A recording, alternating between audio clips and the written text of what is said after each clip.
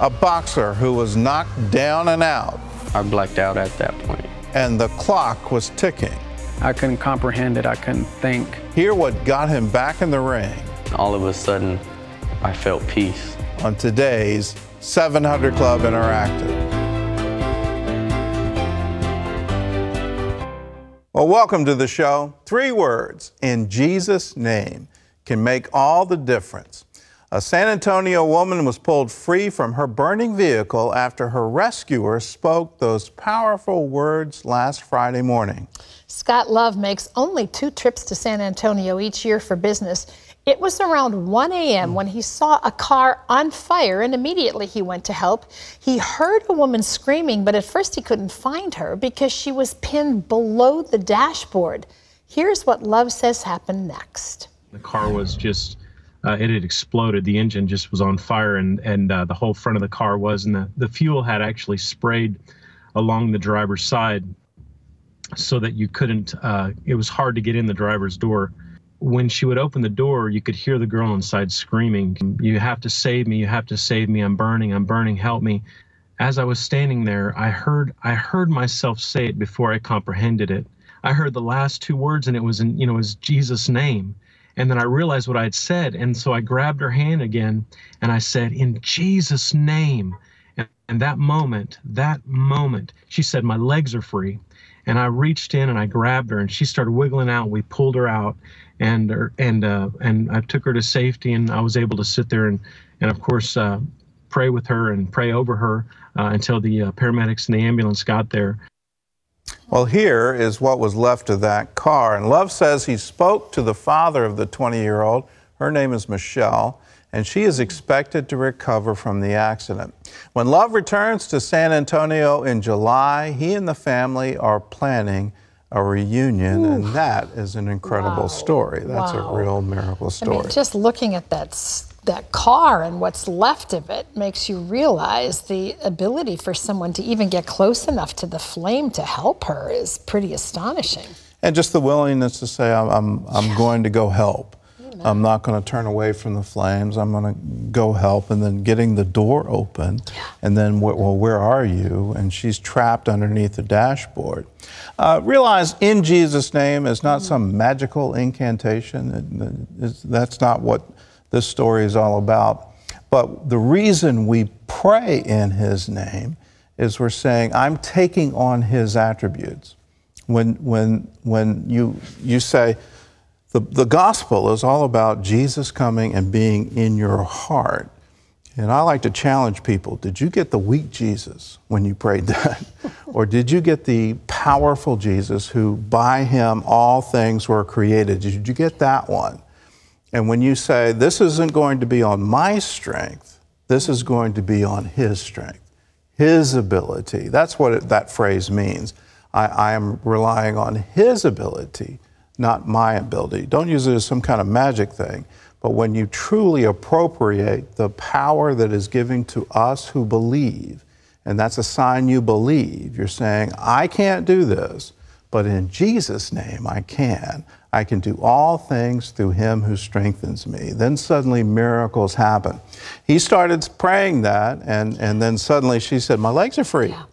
And now she can be out, and that's Yeah. yay. You know, the other miracle is that she was conscious, Mm-hmm. Eh, having had a, an impact like that, to be able to scream and let someone know she was even still in there. I mean, that God has a plan for her life. It'll be interesting to see where that It'll goes. be interesting to see the reunion where Yes. that goes.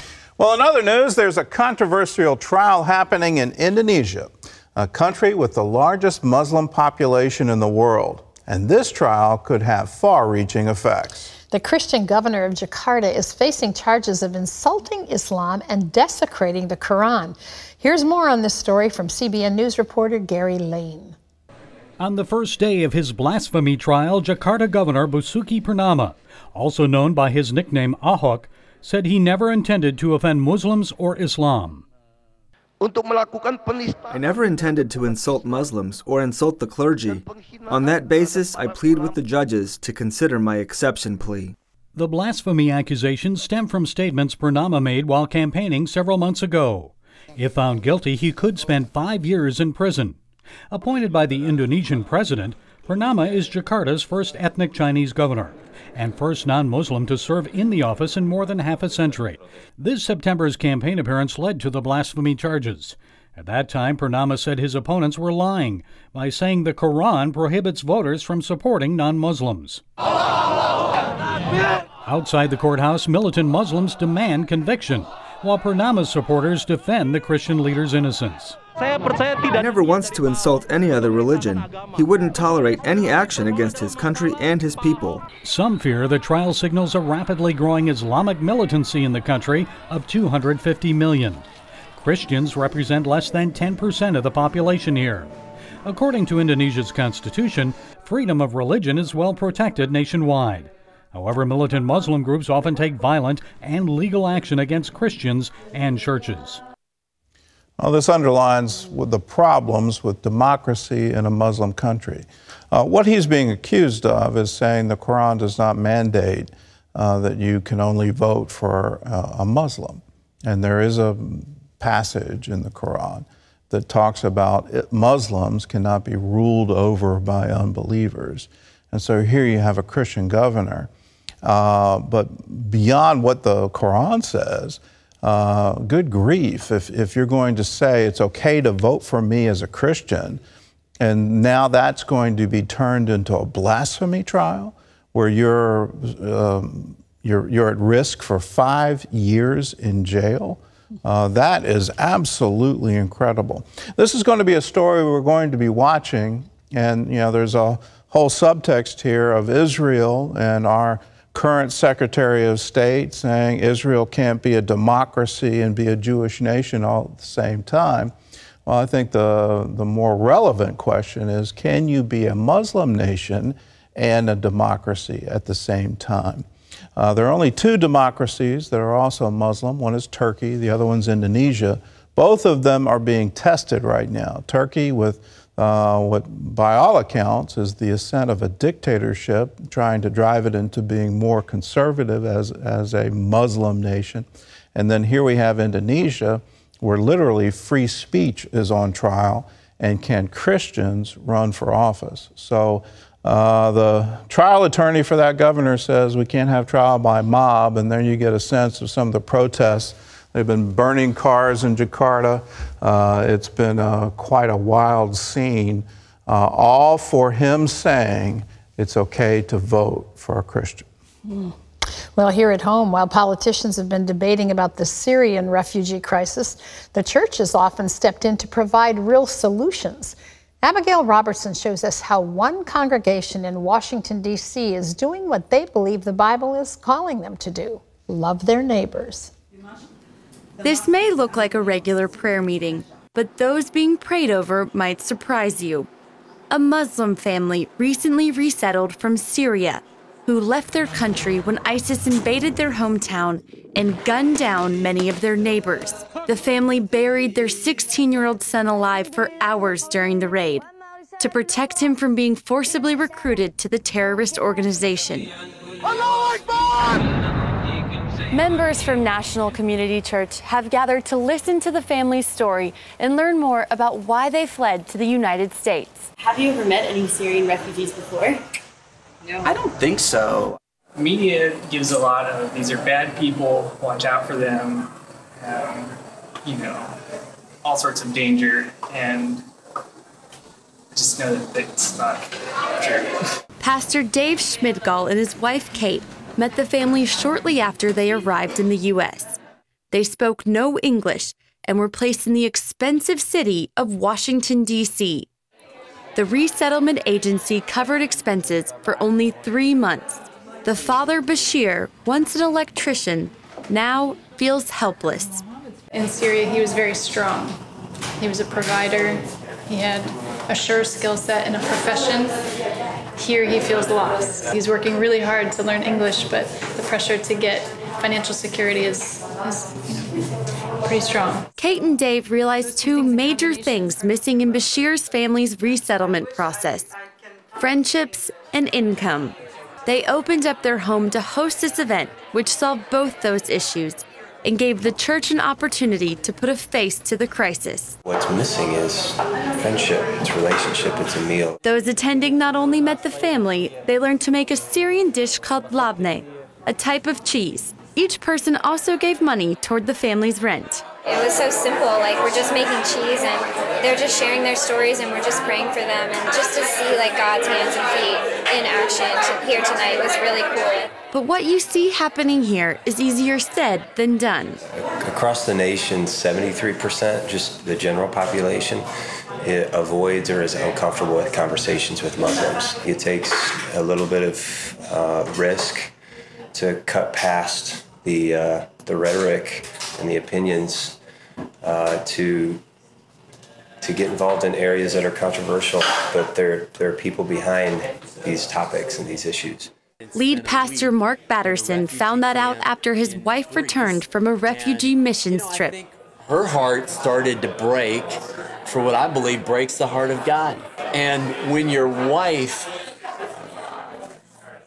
has a heart for something as her husband, you get a heart for it. Pastor Batterson believes if churches move past the politics, they could change the course of this crisis.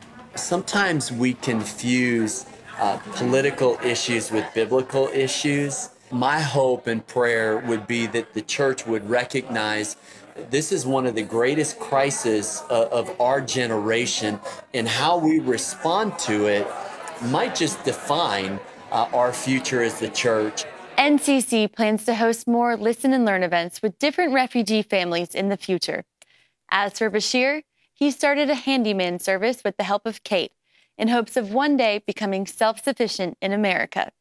Reporting from Washington, Abigail Robertson, CBN News. That was a wonderful story. Sure is. What a great outreach. I think we need to recognize that, yes, the refugee crisis is one of the great crises of our time. And you're looking at millions in Europe, uh, tens of thousands here in the United States. But if we take to heart the parable of the Good Samaritan, uh, what can we do to help them? And can we look at this not as a crisis, but as an opportunity and a wonderful opportunity to share the gospel. Yeah, for certain. I can't imagine how daunting it must be to lose your source of income, lose your home, your family, your friends, not speak the language, and then come and try to get your children established and get life going again. It is an opportunity yes. to make a difference. Well, up next, a boxer with malice in his heart and bleeding in his brain. Watch what happens when he gets floored and see what picked him back up.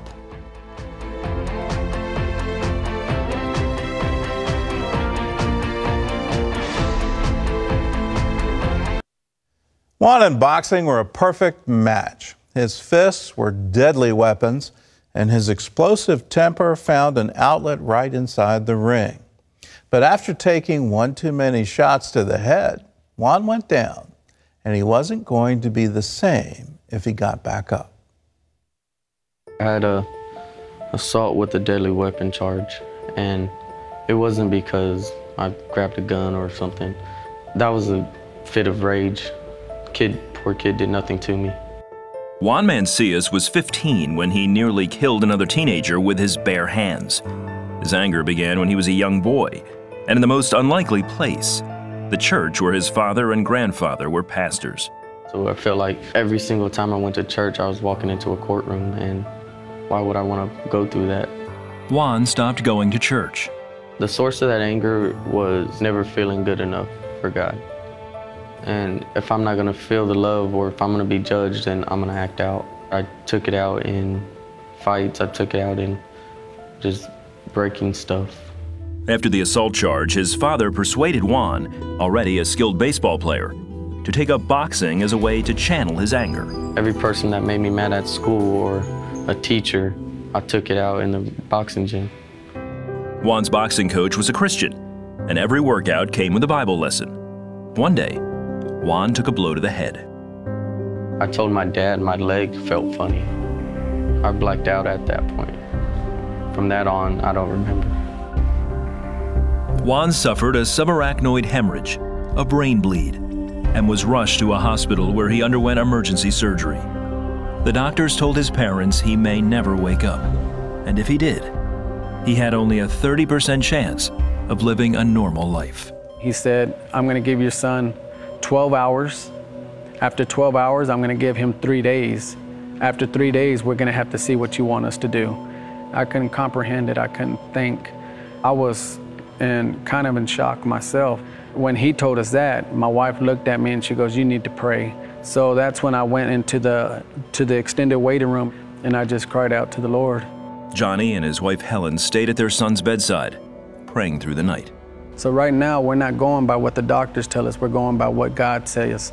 I started playing nothing but worship music inside his room during the nighttime. The very next morning, Juan woke up. At that time, it was like God was just assuring us that everything was going to be okay. After the first week, I seen the turnaround. And on the sixth day, he started telling me he wanted to walk.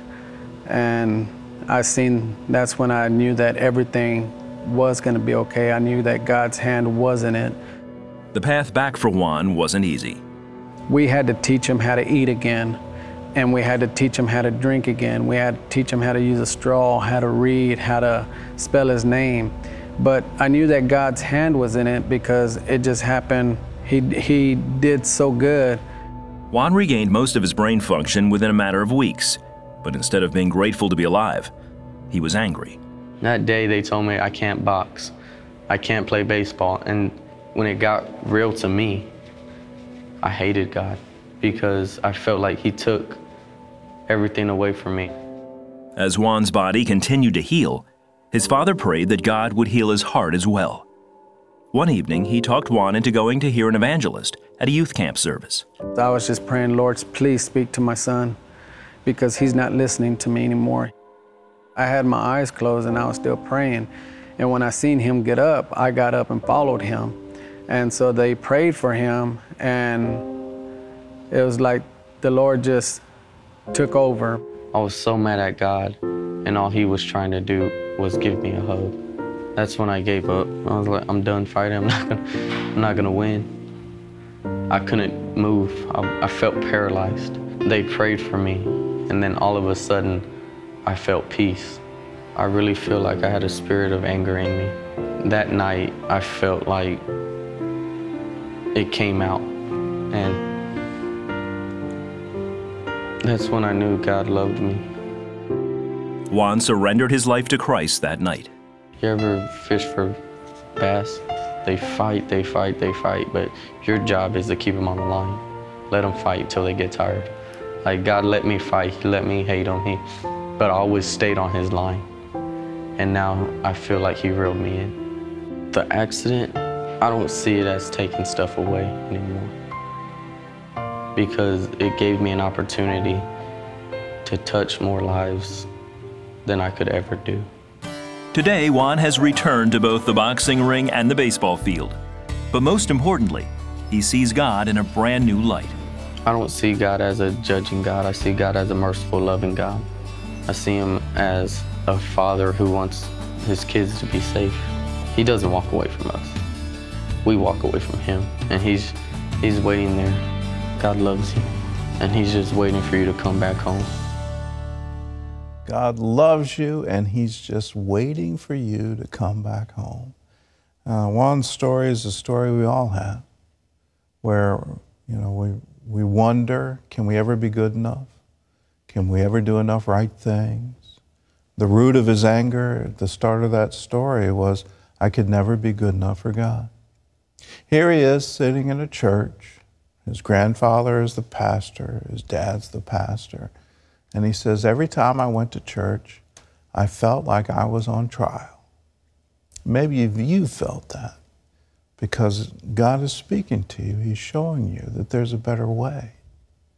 It's not that He's holding anything against you. He's just saying to you, there's a whole better future for you if you just let me. And here Juan is saying, I was angry at God, I was fighting with God, and all God wanted to do was give me a hug. God's not interested in your performance. He's not keeping some record of wrongs against you. He doesn't have a list, he's not checking it twice. That's not God. God loves you. And he loves you so much that he was willing to pay the price so that you could spend eternity with him. That's the good news. That's wonderful news. And to receive this, all you have to do is do just what Juan did.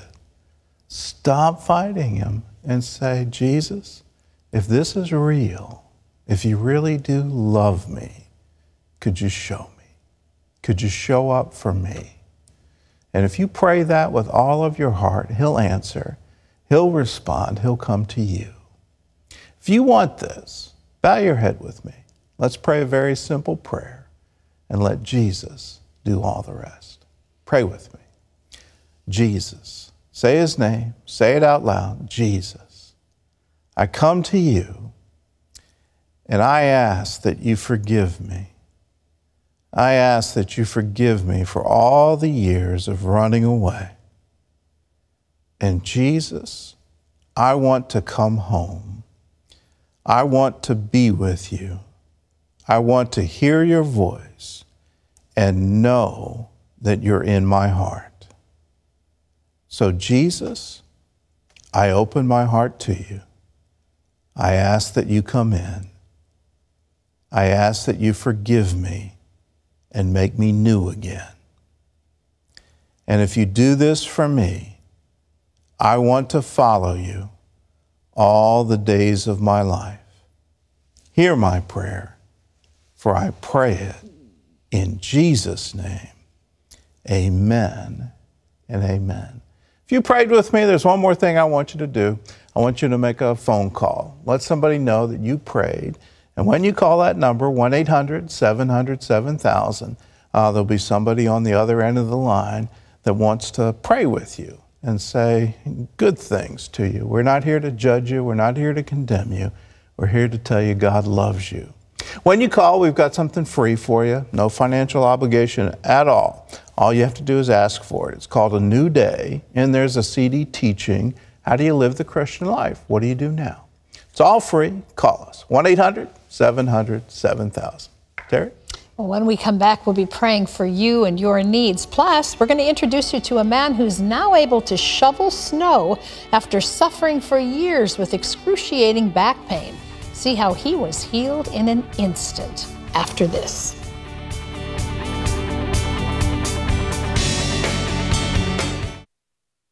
Carl Wisniewski is enjoying his life now more than ever. That's because he's finally pain free. For years, Carl sought medical help, but nothing relieved his aching back.